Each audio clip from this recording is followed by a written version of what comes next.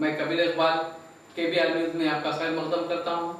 आइए नज़र डालते हैं आज की अहम खबर पर। शहर के सिक्स टाउन हदूद के इलाके डेयरी फार्म के करीब दो रेती के लारियों को पुलिस अमले ने लिया हिरासत में। तफसीत के मुताबिक सिक्स टाउन हदूद में पुलिस अमले की जानब से गाड़ियों की तलाशी व तहकीक़ात के दौरान दो रेत से भरी लारियों को रोककर दस्तावेजात की तलाशी के दौरान दस्तावेजात मुकम्मल ना होने पर पुलिस अमले ने दोनों लारियों को हिरासत में लेते हुए कार्रवाई करने की बात कही।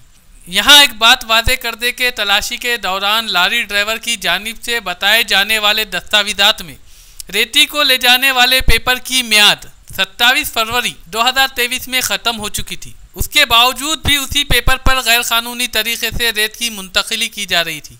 और पता नहीं कब से और कितने बार इस मियाद को ख़त्म होने वाले पेपर के ज़रिए रेत मुंतकिल की गई हो। इसके अलावा ओवरलोड रेत की मुंतकली भी हर रोज़ मंदर आम पर आ रही है। और जराए से ये भी पता चला है कि ये रेत भोदन के रंजल मंडल और मादापुर माकलूर से लाई जा रही है।